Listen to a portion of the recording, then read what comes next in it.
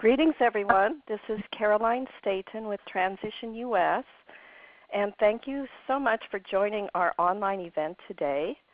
Our principal aim with these events is to provide practical support to the leaders of transition initiatives, those who are mulling over starting an initiative, and community leaders everywhere who are working on resilience building.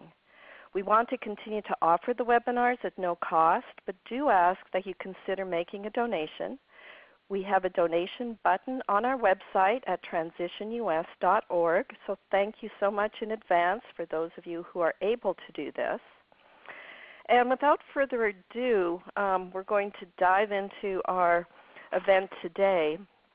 And this is Building Community Resilience Through Courageous Storytelling. We have three guests with us. Uh, a shared story and history that gives a community a sense of itself, its struggles, and lineage can be an important source of resilience. From its own experience, a community can draw examples and role models for bouncing back from hardships. And in this teleseminar today, we will explore, explore ways of developing our story as communities in transition and how important fresh narratives can be for unleashing a coherent transition town initiative. Various guests are joining us for this conversation, and I'm going to introduce the three of them and turn it over to them for um, presentations and storytelling. And it, it will be uh, throughout their um, uh, tales that they'll call on questions or comments, and then we'll open it up more at the end as well. So, Duane Elgin um, is an internationally recognized author, speaker, and media activist. His books include The Living Universe, Promise Ahead, Voluntary Simplicity, and Awakening Earth. He's done research on the long range future since the early 70s while working as a social scientist on a presidential commission on the American future. And in 2006, Duane received an International Peace Award in recognition of his contribution to global vision, consciousness, and lifestyle. Um, his current work involves bringing together more than a dozen great transition stories and there's a wonderful website called greattransitionstories.org. And Duane's personal website is duaneelgin.com. That's our first guest. Um, Jeff, Jeff Vander Clute is a spark in a growing movement to build a world defined by compassion, happiness, and thriving, resilient local communities. He's the executive director of New Stories, a nonprofit that supports cultural transformation through changing the stories we tell. Jeff is also a co founding editor of Great Transition Stories. And he's a serial entrepreneur and former software engineer. He advises for profit and nonprofit organizations and serves on various boards, including the Compassionate Action Network International, the Happiness Initiative, and New Stories. Um, his, uh, his website is jeff.vanderclute.com and also newstories.org. And all of this is also on our website, everyone. Um, Clare Hintz, our third guest, has been actively engaged in research and action to build a thriving rural and local economy, develop a stronger local food system, and build a sense of community celebration around sustainability work. Oh boy, in that area that you're going to have to tell us how to pronounce that, Clare. Chequamegon. Shores, what is it? It's called Chequamegon. Thank you. Chequamegon Bay on the shores of Lake Superior in Wisconsin. And Clare also runs Elsewhere Farm, based on production permaculture in Herbster, Wisconsin. So, welcome, you three talented individuals. So, looking forward to um, hearing about storytelling today and courageous storytelling for resilience. So, I'm turning it first over to you, Duane, and welcome and thank you so much for joining us. Thank you, Carolyne. It's just such a uh, treat to be here uh, with this community and with these uh, with these uh, co-presenters and I'm really looking forward to this. Let me start with a story. uh, about my growing up uh, and how it, affected our community. I grew up in Idaho, uh, a couple of miles outside of town on a little uh, on a farm. Um, out of, uh, outside of a little town in Idaho, about 500 people. And once a year, one weekend a year, uh, those 500 people would put together a uh, a charity auction, and there would be thousands of people that would pour in 20, 30 miles away from all around the surrounding communities to that weekend auction, bake sale, and charity event. Charity event. It was it was a community happening, and so this little town had a notorious reputation as being a uh, a generous place and a uh, really a strong sense of community spirit uh, to give back. Um, so that really, uh, I mean, I just saw that every year. It just every year that would come around, and so I grew up with a strong sense of the capacity for community to really pull together and give back. And uh, so when we're looking at great transition towns or, or towns in transition, I know we can do this. Uh, that's how I grew up.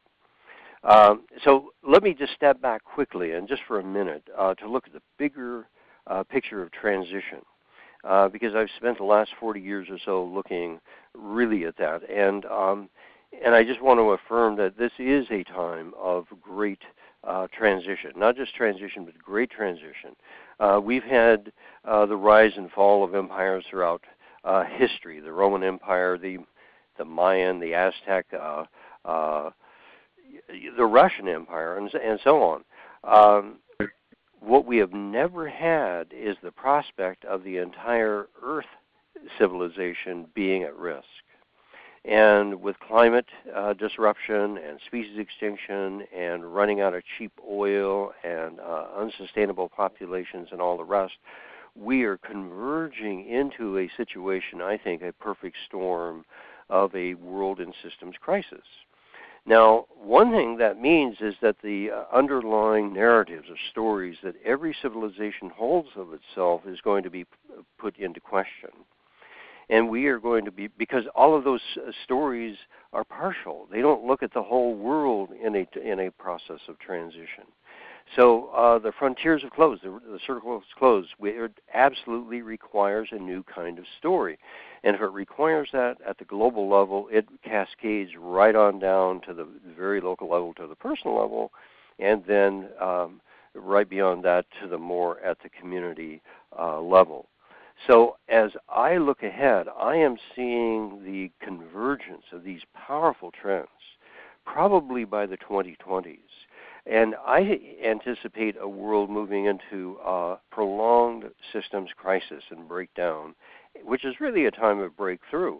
And part of the breakthrough is recreating ourselves at a more basic level, at the level of neighborhoods and communities, and creating local living economies at that scale that really uh, use the power of, of um, you know the psychological and social glue of, of our collective narrative to kind of hold us together in these times of, of really great stress and transition. So uh, stories may seem really removed uh, from the challenge of uh, well, do we have enough food? Is is uh, water going to be sufficient, and so on. Story may seem far removed, but story is that which underlies uh, the collective intention to get together and build those uh, capacities for resilience uh, for a longer term uh, future. So I could come back. You can hear my enthusiasm for this. Uh, it's just really um, something I've lived in, in different ways. I've lived in co-housing and such, and I've seen the power of community once again, the power of story in that community to hold that together and lead it into um, actions in the world. So um, that is the larger context uh, that I see a whole world in transition. And so then that cascades down to um, uh, a more local level. And the work that Jeff Vander Clute has been doing, I've been following for years. And uh, Jeff is an amazingly uh, courageous soul and bringing his capacity for harmonizing all of these conflicting forces together to look for a higher level of possibility. And that's exactly the kind of challenge that we face as I see it in communities. There are all of these conflicting forces. We have to bring them together in a higher level of possibility. And he is working on the tools and the processes uh, of doing that. So I'd like to turn uh, now to Jeff to uh, share. Thank you, Duane, and thanks everyone for being here. And I also want to just express my joy for being part of this conversation, which feels deeply important as we do the on the ground work of movement building and transitioning the world uh, to a thriving and resilient now, actually. Not just a future, but how do we live into that now?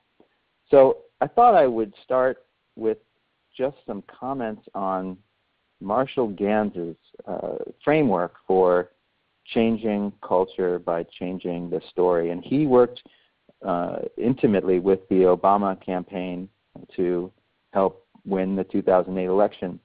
And his simple framework has three pieces uh, the story of self, why were you, me, why were we as individuals called to what it is that we've been called to? Then there's the story of us. What is our constituency, the community, the organization? What have we collectively been called to? What's our shared purpose? What are our goals? And shared vision. And then there's the story of now. So, what is the challenge that we are facing as a community, and what are the choices that we can and must make, and what is the hope that we aspire to? Um, I was attracted to story in many ways. Somewhat unconsciously at first, I was attracted to the organization New Stories because I felt there was something alive there. And subsequently, I learned about Donella Meadows' 12 leverage points, which is another model for how change happens. And with the 12 leverage points, there are various ways of intervening in a complex system. And some of them have more leverage, and some of them at least seem to have less leverage. And when I think about society, it is a complex system par excellence. So, how, how do we shift culture? How do we not just change culture a little bit, how do we radically transform culture? We would need to radically transform the story. And the only way that I can begin to get my small mind around that vast possibility is to start with the story of self. And, and that may be indeed the reason why we have to start with our own story. Do we even know our own story? Are we capable of telling our story? There's a wonderful uh, white paper that I've put on the greattransitionstories.org website that everyone on this call can refer to. I think we'll distribute the URL uh, after the call. There are a whole bunch of resources that we've pulled together. So this is a white paper that walks you through a process of getting clear on your own story, getting clear on the collective story, the story of now, and then actually the fourth step is, of course, getting into action. So the story of, of me, really briefly, uh, didn't start well. Uh, certainly came from a privileged background, I would say, in the Washington, D.C. area, but always felt perhaps because I was an only child. Who knows? Uh, I could make things up, but uh, I always felt that that I was uh, a misfit, and that became my identity. So if there was a community, my definition of myself was I'm not in it. And so for 33 years or so, uh, I had a difficult relationship with the collective. Did well in school, uh, found my way by luck into a successful startup company called Tripod in the mid 90s, which surfed the first wave of the internet. and I was fortunate enough to be in a position to learn to write software on the fly with uh, the early web and create an application called the Homepage Builder, which expanded into a whole personal publishing and proto social networking platform that uh, connected 35 million people to one another and gave a voice to the voiceless.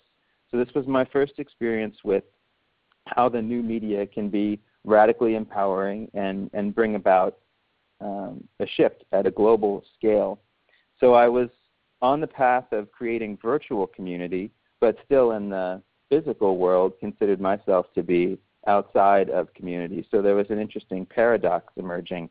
Over the course of seven or eight different startup companies, I wrote software, eventually writing a platform with the express intention of connecting the global heart and creating a healing environment for people to uh, connect with one another and share your story. Literally, that was our tagline. So there were a lot of premonitions for this work, even going back a decade or so. I was actually, to continue sort of fleshing out the, the darker part of the story, which is what makes this maybe a courageous story for me to be telling. In 2002, I was diagnosed with, uh, with bipolar 2, uh, which is the, the less psychotic form. And uh, it was perhaps because of just the accumulation of difficulties uh, that I was experiencing that I was beginning to exhibit the symptoms. I took that as a turning point. Uh, finally, I could see my past. You know, you can almost map this onto a world in transition. I can see, I could see a past that that I wanted uh, to part from and create a future distinct from that past. So it became a line in the sand, and I focused my full attention on healing individually. It took a number of years uh, for that process of healing to unfold, and um, certainly at this point, any of the symptoms that contributed to the diagnosis seem to be long gone. So I would say there's profound potential in our individual story, in our individual healing, and then there is even more profound potential when we bring that to the story of us. So a few years ago, I relocated to, well, I began to visit the Pacific Northwest because I had a sense that community works here. I had been living in Palo Alto, which is the belly of the beast for Silicon Valley, and lots of great things happen there. Facebook is there, and actually, Facebook is doing some amazing things in the field of compassion, specifically around bullying. So, you know, there's a lot of light that is coming from Silicon Valley, but I was not experiencing that in 2009. In fact, uh, school children, high school students were routinely, I, I'm, I'm sorry to say, but routinely jumping in front of the Caltrain and committing suicide to the point where they stopped announcing when this would happen because more students would then be inclined to do that as a way of getting attention for their individual cries for help. And when I discovered the Pacific Northwest in the summer of 2009, I had a totally different vibe. I committed myself to uh, exploring that uh, to connecting with elders and mentors here to try to understand. And that was the beginning of my shift into physical community. I've since relocated here. Uh, I've got a lovely little apartment in downtown Langley on Whidbey Island. Uh, it is in a sort of nascent co-housing situation. I now feel very comfortable in community.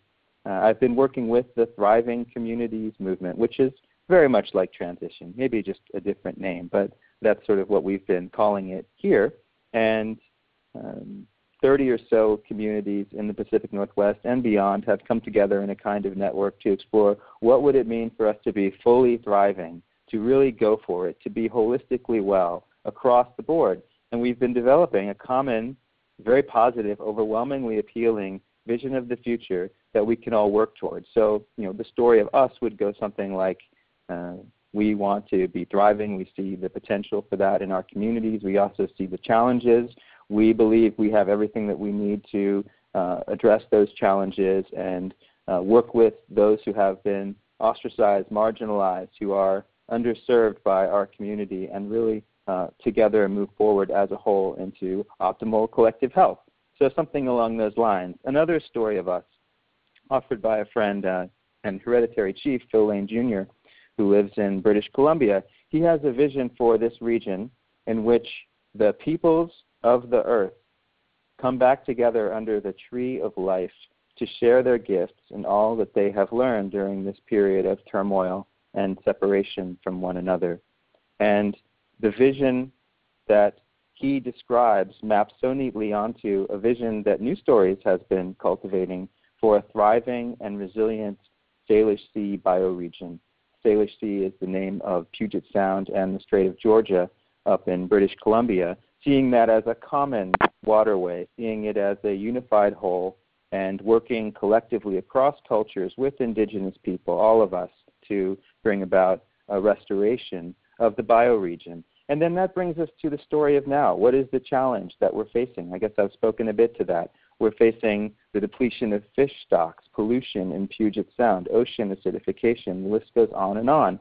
The, the Northwest is one of two regions in the United States that is not projected to become a drought zone with uh, climate change. So we're going to have a massive influx of people and industry, especially industry that needs water. How will we address those challenges consciously? We have to come together in unprecedented unity in order to, uh, to achieve that end. So those are some remarks, just borrowing heavily from Marshall Ganz' frame and maybe we'll come back to some of those ideas a little later in the call. And with that, I would love to pass the baton to Clare, who has a perspective on hyper-local organizing and how to restore our local communities. Thanks. Thanks, Jeff. Um, I am really delighted to be here today uh, with all of you. Um, just briefly, a little bit about uh, my own story.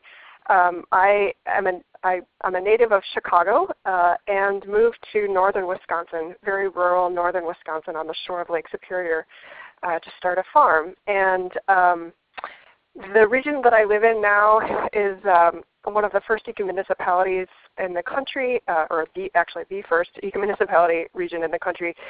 Uh, and it has a long history of sustainability work, probably 20, 25 years of, of organizing around sustainability. And one of the things that we're um, focusing on now um, as we're a community, the gateway to enormous um, natural abundance. Uh, Lake Superior, the Penokee Hills, um, it's just a, an incredibly rich region. Uh, and, and so there's a lot of pressure coming down on us uh, now as things become destabilized.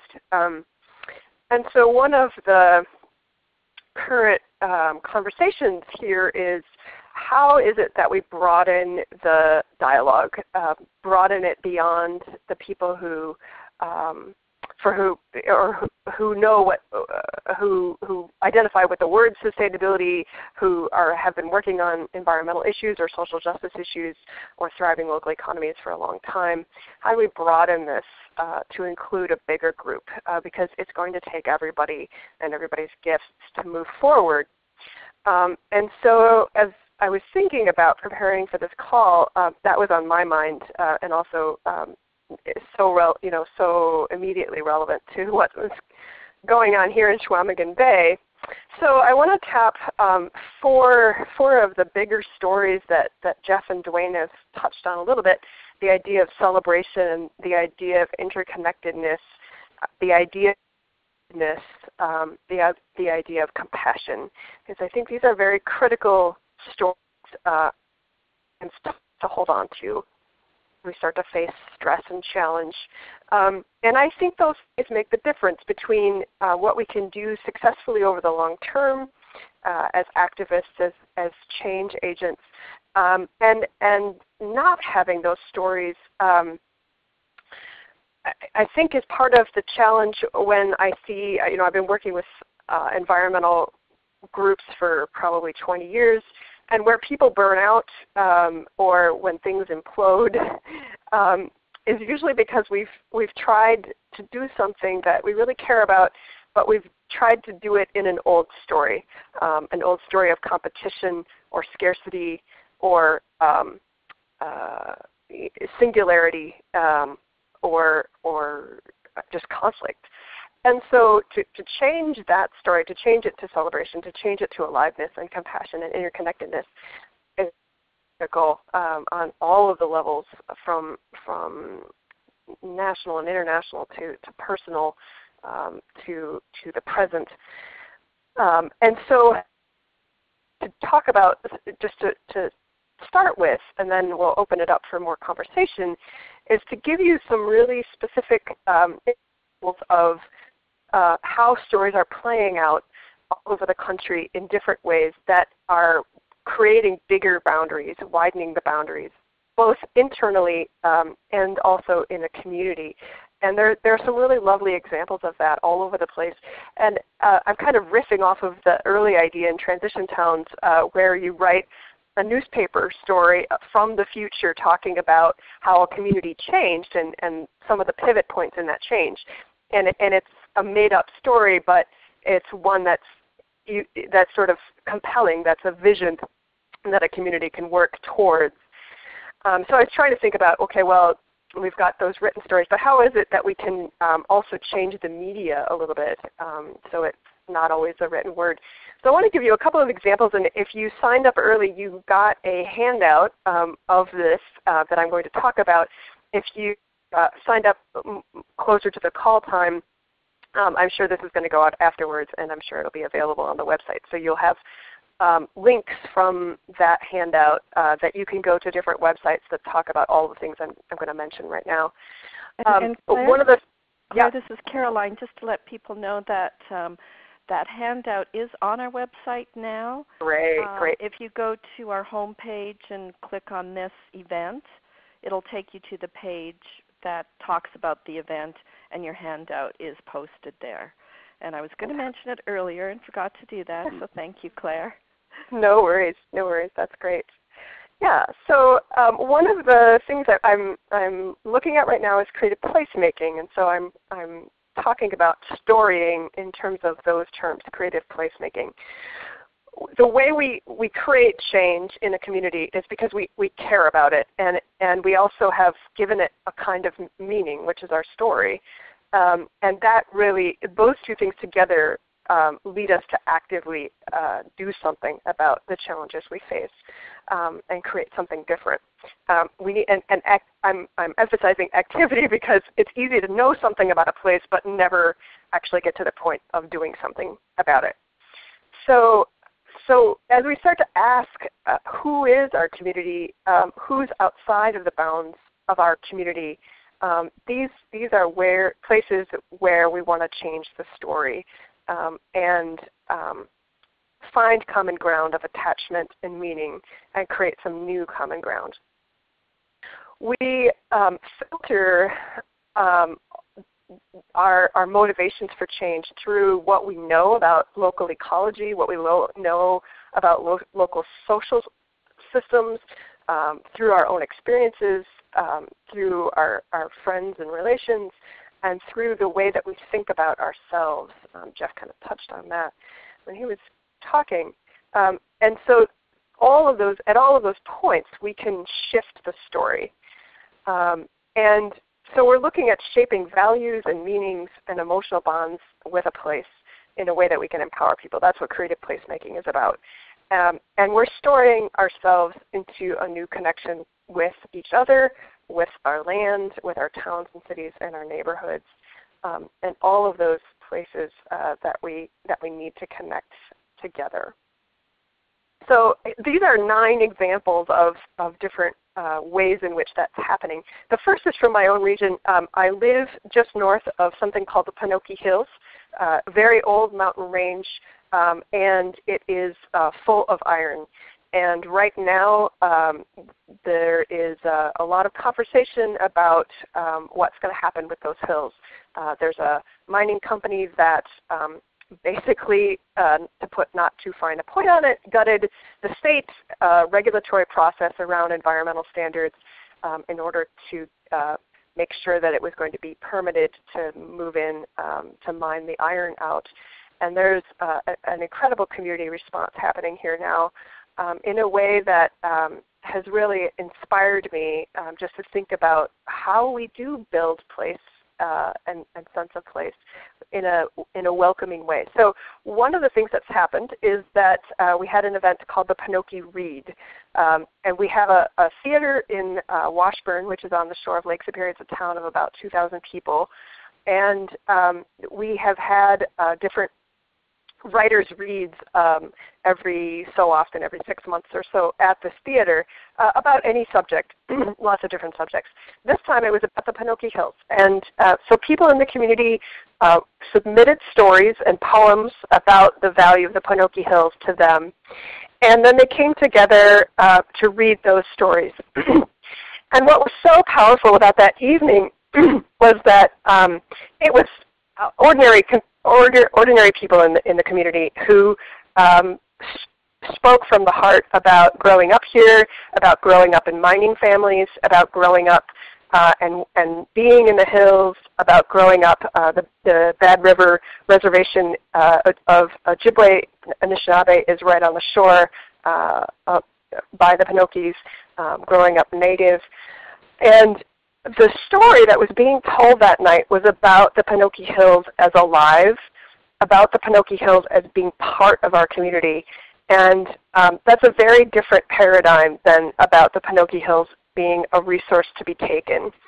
Um, and if you are interested in hearing some of those stories, I've included on that handout two links to both a written version of the story and um, the entire evening was um, taped and broadcast on WRNC, which is our local radio station. So you can, if you want to hear those stories, you can hear them. But what was powerful about that night was the diversity of voices uh, that spoke, um, uh, and, and, and all local voices. And um, it, the, the eloquence that came out of people um, when they talked about their care for the, the place was, was just uh, mind-boggling to me. So um, in the way that we tell stories uh, to celebrate where we are, that starts to build bridges. Um, and that's, that's one example of, of uh, creative storytelling. City Repair is an organization uh, in Portland, Oregon, to go to the to the other side of the country um, that perhaps some of you have heard about. Um, and I've included again the website um, on the handout. But this is an organization that works to revitalize neighborhoods. Um, and one of the projects that I love that they have is to overtake intersections. Um, so intersections sometimes can um, be a source of lots of accidents. Uh, there, there are lots of traffic moving there typically. Um, not generally a place where you would think of uh, a neighborhood gathering space. Uh, but they've started this project where they've painted intersections and um, as, as a traffic calming measure, but it's also ended up working as a little bit of a gathering space for different neighborhoods in Portland. And um, in a way of reclaiming neighborhoods uh, for people as opposed to cars. And so uh, City Repair um, as an organization asks a number of questions. How can the private and public be effectively merged to co-create the world we want to live in? How can modern technology and traditional methods work symbiotically instead of being at odds with each other? Um, how can um, the ways in which we conduct our interpersonal relationships, um, how, how are those ways conducive to building communities? How can we create diverse communities that support and nurture the, the uniqueness of each member? So this is an organization that um, has um, quite a few initiatives happening in Portland, um, but as a great example of using art to tell a story. And it's not a story that's being told to the community. It's a story that the community itself is creating in the process of creating this artwork. Um, and that's a really important point, that the community itself is generating that story. Uh, the next example I want to move to is um, arts, another arts organization called Heart of the Beast Puppetry in Minneapolis, Minnesota. Uh, and again, this is art as community building. This organization does a lot of street performances and uh, neighborhood block parties uh, on National Night Out, which is a night to um, celebrate peace in neighborhoods and, and, bring together communities and the um, police force. Um, they had a, a, street dance with puppets, and um, there's some videos on their website is, are, are, are linked there. But um, it's it's an amazing organization uh, in terms of getting people to connect on, an artistic level, but also on a level of movement. And um, so uh, as you think about tools for your own communities, one of the things you can think about is how is it um, that we can bring you know, that kind of sense of fun and irreverence um, and uh, just wonder to the process. And puppets are a really great way to do that. And plus, creation of puppets is also a way to bring a community together. So that's an organization you can check out. Um, another example, um, a radio example, is um, something that uh, someone was telling me about called Intervention Day from Boulder, Colorado. In the 1980s they had a broadcast and the premise was that aliens came to planet Earth. There was this galactic council of aliens that said, Earth is losing it and you guys better get your act together. Uh, and so um, they imposed sanctions on the planet and said you will be sustainable. Um, and so the whole um, process of figuring out how we were going to be sustainable um, uh, was was celebrated on this radio broadcast. And so you can see a little bit. I wasn't able to find the whole broadcast, but um, you can see a little bit from the website. But I loved that idea that um, we can use radio as a means of bringing the community together and telling uh, very fun stories, inventive stories. The broadcast won the 1987 International Radio Festival of New York Grand Award for Best Entertainment Program of the Year. Um, so very imaginative program. Um, a piece of, uh, switching gears again to the, to the, other coast, New York, um, a piece of artwork that um, anybody can replicate that I just love. Um, it, it, lots of construction happening in cities, uh, lots of boards up covering over construction sites. And somebody posted uh, these posters uh, on a construction site, and there's, it's a black and white poster on the one, it has two hands, um, as if you had put your hands in paint and stuck them on a piece of paper. On the one side it says, place your hand here. On the other side it says, under the other hand, or over the other hand, it says, have stranger place hand here. And on the bottom of the poster it says, remove hands when no longer strangers. And um, so this, this exercise takes a bit of courage because you have to pull somebody off the street that you don't know, get them to put their hand on the poster next to yours, which means you have to stand close to each other, and then talk to them for five minutes um, until you're no longer strangers. Um, but what a lovely way of, of utterly spontaneously bringing together people who might never otherwise talk to each other, and especially in a city where, where it's hmm. so taboo to even look somebody in the eye, let alone talk to them. Uh, it's just a great example of radically inviting people to build community. The artist, uh, Ryan Brennan, has uh, his own website. You can see uh, there's a review of this um, street art uh, on another website that you can check out. And he's also got other, what he calls living exercises. Um, he's got a book of exercises. So if you're interested in creative placemaking tools, that's one that you might check out. But such an easy thing to create. Um, just a couple quickly other other um, examples to spark your creative juices. One, uh, I'm, I'm, as I live, I mentioned I live in a very rural area, and that often gets overlooked in a lot of sustainability work. Uh, one group that's working on revitalizing the sense of rural America is called the Art of the Rural, and they celebrate rural arts and rural living um, and the richness of rural life. So what they're doing is changing the story from rural America as being a impoverished place or being a place where um, nobody thinks or being a place where there isn't anything to do. Uh, and they're changing that story very dramatically uh, to show the richness of rural life. Um, that's a, a, source you can check out. Going completely mobile um, is another direction to, to, to consider.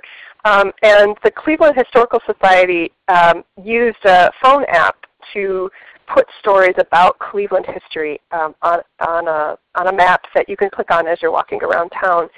And, um, and then they've uploaded different stories about the community. And um, what a lovely tool for visitors to uh, any of our areas and to think about how we could create um, tours of sustainability for each of our communities so that people who are traveling through can connect right away with things that they really value about um, you know, green space and um, sustainably produced food and examples of energy, renewable energy, and examples of uh, creative wastewater management and all of those things that uh, we can show off about our communities. Um, and then a couple of really general um, tools to think about innovation salons um, are very simple once a month gatherings. Anybody can come and your only goal is to talk about innovative ideas. Um, we've started those here in Chequamegon Bay and they're incredibly fun evenings. Um, somebody makes a pot of soup and we just talk in the evening um, about new ideas. And um, it's a place where a lot of entrepreneurship is being born and uh, in, in an area that doesn't think of itself as generating entrepreneurs, um, it's amazing to see the creativity coming out of just getting together and having conversation about, well, what if we could do this? Um, so that's another example. Uh, another uh, smaller tool to think about, just a kind of fun way to mess with, uh, again, communication, is something we're calling the chalkboard campaign.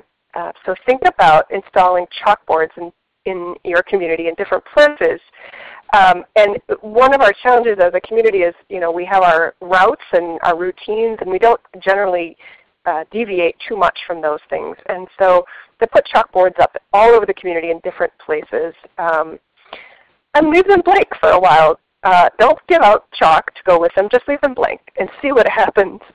Um, and if nothing shows up on those chalkboards after a while, perhaps write in the corner of the chalkboard, got chalk, and then see what happens. Um, and maybe a little bit later, uh, a couple weeks go by, maybe provide chalk and see what happens. And uh, this is this is completely unregulated, spontaneous, no predicting what might come up on these chalkboards. But um, amazing conversation can ensue when you give people a space to do it. And we don't always have enough public spaces to have conversation. And this is one way to do that. You can take regular photos of what shows up on the chalkboard and post it to a website.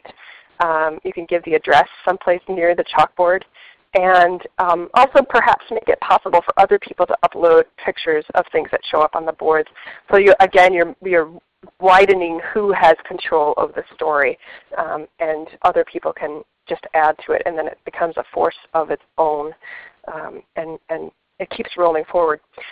So that's just very briefly uh, a, a, a, toolbox of um, techniques you can use to think about how to create some new stories and, and really radically shifting the boundaries of who's telling the story, who is the story about, um, and um, what is the story being told. So uh, with that, I will turn it back to Duane uh, for our next step.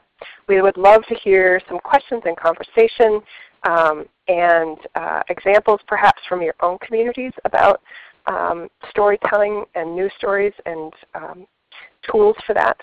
Um, so Duane, back to you. Wow. Clare, thank you so much. That was an extraordinary uh, overview and uh, so rich, and, I, and I'm uh, and I'm hoping we're going to get a lot of this uh, available on the, on the website. And I know Jeff was doing some work to um, make that possible as well. And um, I want to open it up to uh, uh, questions and comments from uh, our, our many partic- participants here. And um, I really, I just, I'm just so um, enthused by the conversation uh, with Clare and Jeff and Carolyne. Carolyne, before uh, we we open it up to um, um the whole audience, I want to ask you, as the uh, d- director here of Transition US, I hope I have that correct. Do you have any stories you want to share? Living there in Sebastopol, up here in Northern California, are there is there anything that you feel inspired to uh, contribute to the conversation? Thanks, Duane. I I I do have something that um, I think sort of gave me my visceral introduction to the Transition Towns movement. And it happened when I went to the first Reskilling Festival that was held at a local farm in Sebastopol. And I had thought that I was going to an event where there would be many instructors and people coming that wanted to learn those things that the instructors had to offer. And of course, that is part of it. There were people uh, talking about beekeeping and raising chickens and making uh, really rich compost and uh, grandmother's favorite brine and all sorts of things. And there were probably about 200 people and different series of workshops, so uh, maybe six or seven concurrent throughout the day and um, that was very rich in terms of people sharing what they're passionate about to audiences of peers who really wanted to learn that particular thing. So that's you know that's the texture.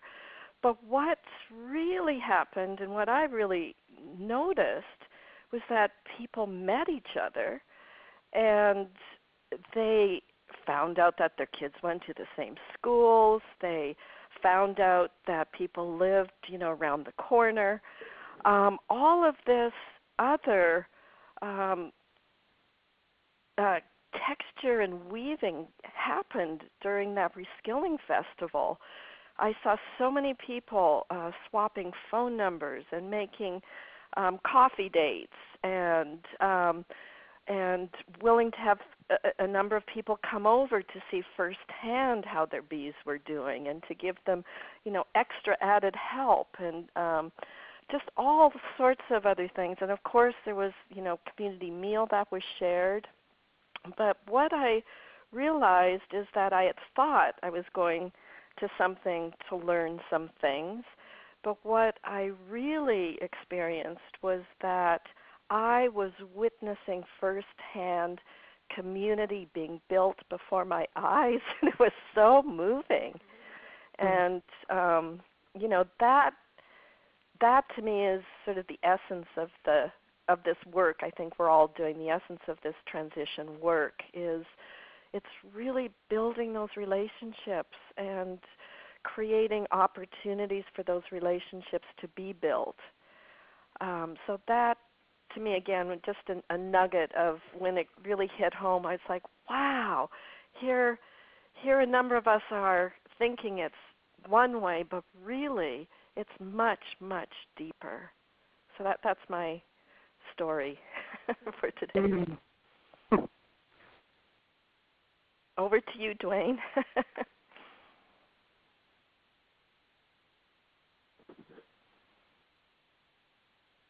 uh,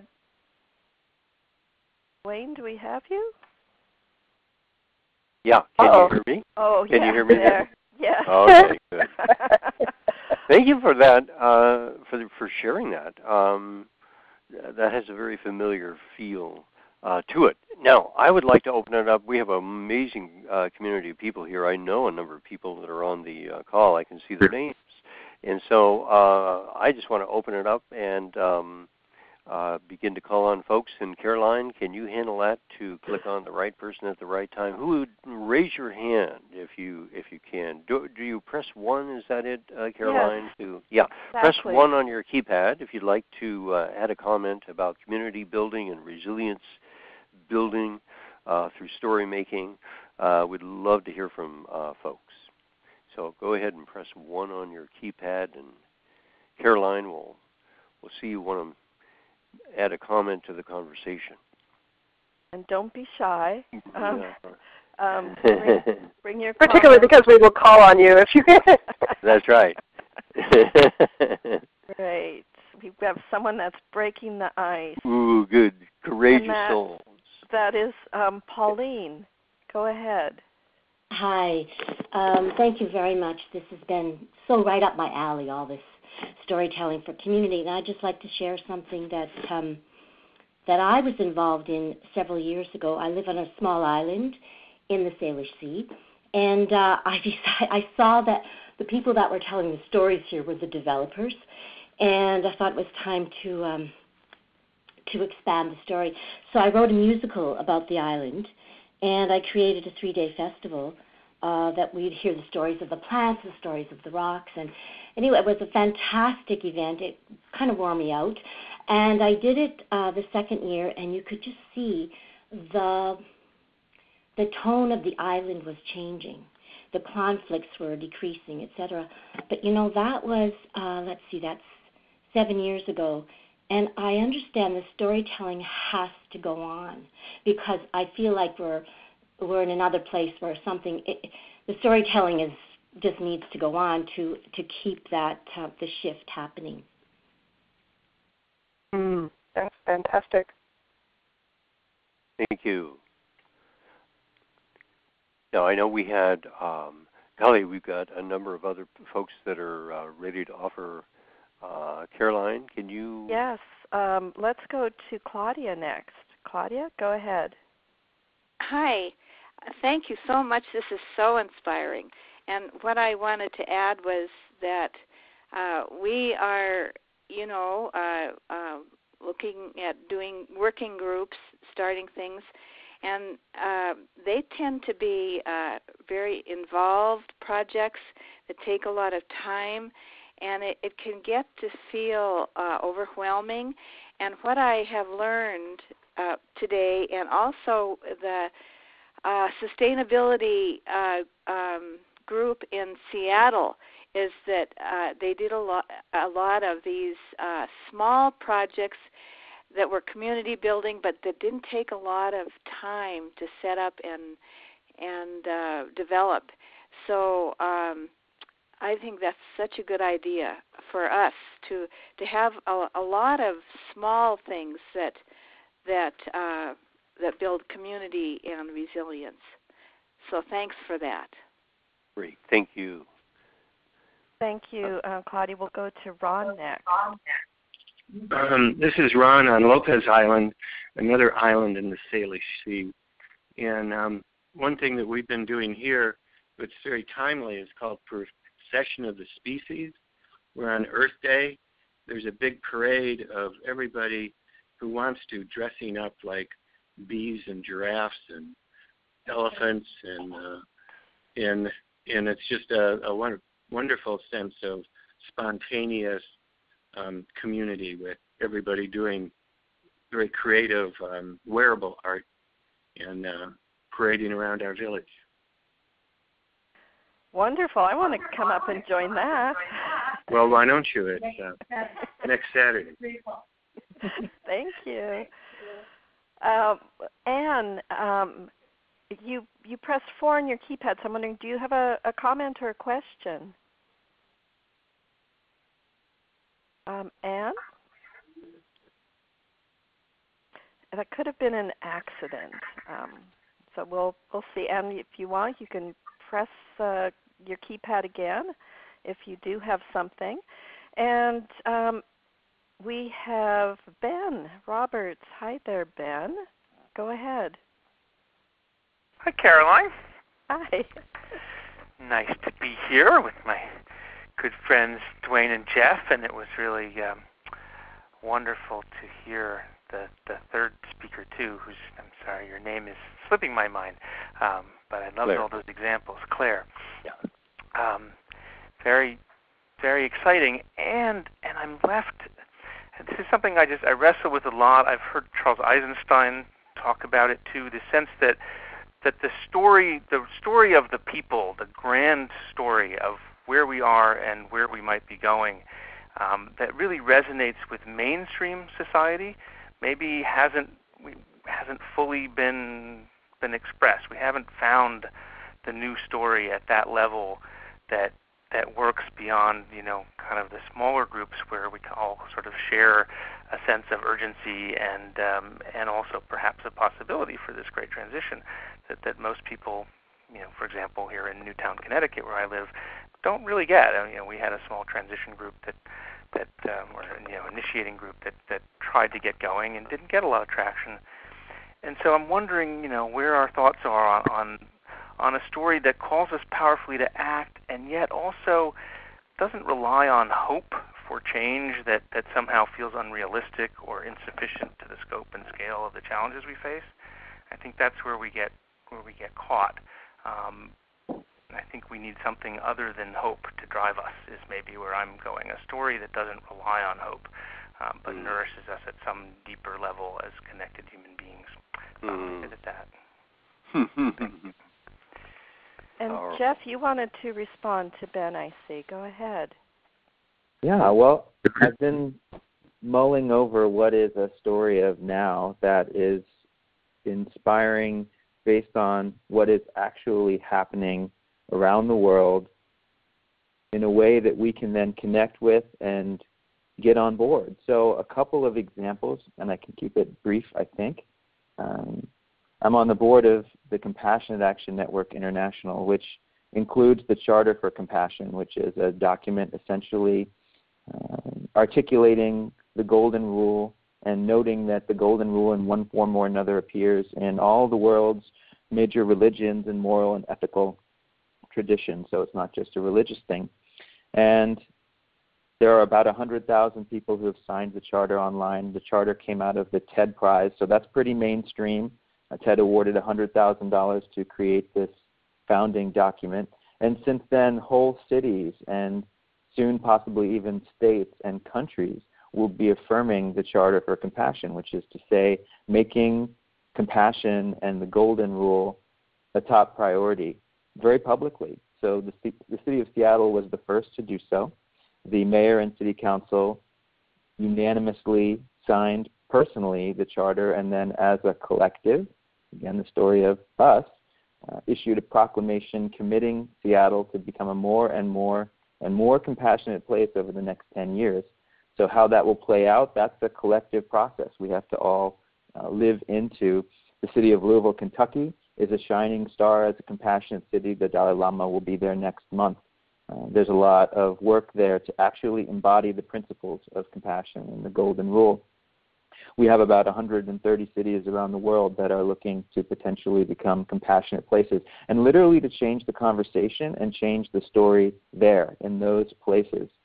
So I would suggest there's a there's a tool and an opportunity for each of our communities, whether we're a, a small rural community or a big city, and we have examples of both with the Compassionate Action Network for each of us in our communities to uh, to more than flirt with compassion, to actually warmly embrace and have public conversations about what that would look like if fully expressed in our communities. And then a second tool, really quickly, I don't know that I can be quick when I promise, so I'll try once again, is gross national happiness. I know from a recent public talk that that many folks involved in transition are aware of what's happening with gross national happiness, which is an alternative to measuring progress in terms of GDP, which insanely counts car accidents and hospitalizations and divorces and illnesses as positive um, for the bottom line of a country or a community because it contributes to economic growth.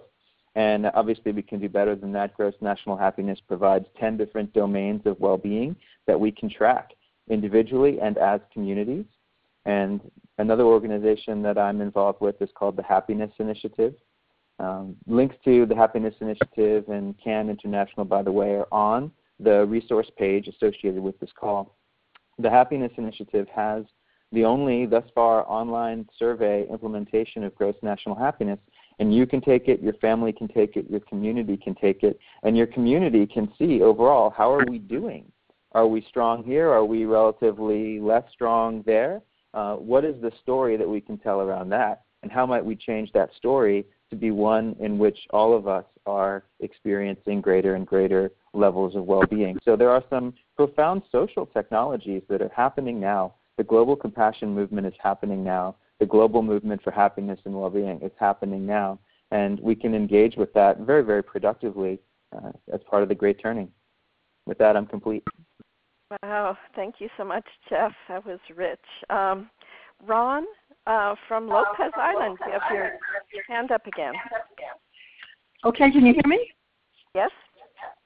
Okay, um, this is Kay, and one thing we, we're creating a story here on like we everyone on our island of 2,500 people are part of transitions, whether they know it or not, and um, we're really seeing ourselves as networking 42 really great nonprofits that are going here so that they have a sense of wholeness. Um, so when Ron told you the story about the procession of the species, that is but done by we're not doing that. Somebody else is doing it, but we're kind of telling the story like, well, that's how we're building community. Uh, one of the things we've recently done is we, we get together for this call and have a meal afterwards, lunch, and then have ideas. And um, so that's one thing. The other, we have a monthly potluck, and uh, everyone's invited. But we are we've been spending a lot of time looking at local financing. Um, there's one of our guilds. We're going to steal that name from that call last week. Is uh, the local financing group. So this week we're having a credit union from the mainland come over. They got so excited they're sending over their whole staff and seeing about people, you know, getting it in an area of four counties where we're we're possibly investing, but we're also looking at a model that's over in Port Townsend, which is called Lion, L-I-O-N, and having someone next month to talk to us about that. So and then just um, the real challenge is getting it out to the community and mapping our resources so that the whole community gets uh, what we're up to, and there's nothing required of them other than if they're interested. So that's what I wanted to add. Thank you, Kay. Um, And back to um, our our wonderful, uh, inspiring presenters. Um, any other thing that you want to say that might spark some more comments or questions? This is Duane, and uh, what comes up for me is um, once again, uh, stories may seem uh, inconsequential, inconsequential, um, but as we move into a time of transition further and further, and uh, we see things begin to break down, we're going to be between stories. And to the extent that we don't have a story for the future, a narrative that really makes sense for us as a community, instead of pulling together, we're, we're going to pull apart. And so, one of the most powerful things that we can do, Jeff alluded to this, uh, in terms of the levels of uh, intervention within a system, within a community, uh, one of the most powerful things that we can do is very subtle. And it's not for us to tell a story, but rather is to invite the community tell, to tell its own story. And there are tools of invitation uh, where you can ask a community, well, um, to what extent is this community really in, a, in uh, maturing? Is it growing up, and and what does it look like as it matures into a new way of relating to uh, sustainability and a new way of a uh, more compassionate relationship with the rest of the folks there in the community, and so on. Um, so there are many narratives that the communities can begin to take to explore their own sense of identity, and we've just started to touch on those uh, narrative possibilities. Clare gave us a bunch of wonderful examples. Uh, so let me ask, uh, Jeff, do we have um, a web the, a web URL where people can go to to get most of this uh, information or is that on the Transition US site, or where's the resource for us? So on the greattransitionstories.org website, uh, there is about to be, because I'm about to make it so, a link right at the top of the home page that will take you to the, the resources for this call. Um, that's probably the easiest way to navigate there, and perhaps Carolyne could add a link as well to the uh, Transition US landing page for this call. Yes, Great. we certainly can. And Clare, also, you wanted to say something, and then we have um, Janice Lynn to go to as well. So, Clare? Great. Yeah, just to add on to uh, what Duane was talking about just now, um, this is these are Duane's own words, but as we were prepping for this call, we were talking about this. Duane, Duane said, you know, listening people into their own awakening, and I, I wanted to um, respond to the you know the point about um, stories and, and you know that may not have traction with a different subset of the community, and the importance of listening there. Um, as we talk about that here in Chequamegon Bay, one of the things we're realizing is, you know, the words are not about sustainability. They're not about um, uh, thriving. Um, they're not about um, environmentalism. They're about um, self-determination and self-reliance. Uh, they're about freedom. Uh, those are the those are the buzzwords that um, we're starting to reclaim, I guess you could say. Uh, so that was one point. The other quick point was just uh, the tools available to to get that listening to happen. Um, there's a lot out there. Uh, people may may already be aware of things like World Cafe um, and unconferencing. Uh, unconferencing is a process where you get a, a group of people together based on a theme, like you just like you would do for a conference, except the people themselves set the agenda and and and it runs uh, very free flowing uh, within a structure, if that makes any sense. There's a people pick their own topics and they, they uh, facilitate a conversation about those topics. And it really lets the wealth of the community emerge and a lot of listening happens at those kinds of events um, in a way that doesn't happen with a typical sort of uh, conference or um, summit kind of event. Great, thank you. I wanted to, um, st- Janet, Janice Lynn has her hand up, and we'll go to you next, Janice, and then we'll do a final go round with the presenters for closing comments. So, Janice, to you. Uh, can you hear me? Yes. Yeah. Oh, okay. Um, well, I have a specific thing that's related to my locale. Um, I've been uh, well, first of all, we're involved. A lot of the transitioners are involved in um, dealing with uh, fracking in our area, which um, has turned in a kind into a polarized kind of uh, debate. Um, and I'm wondering if you could speak to the idea of using story to to uh, ease polarization and uh, to get communication going, and how that might look to to do that with something that's so fractious, so to speak, uh, as fracking. Wonderful. Yes, yes. This is Duane. Um, you know, I I do a lot of research trying to figure out this very kind of, of issue and what comes up again and again. And I've seen this in my direct experience working in government and, and such.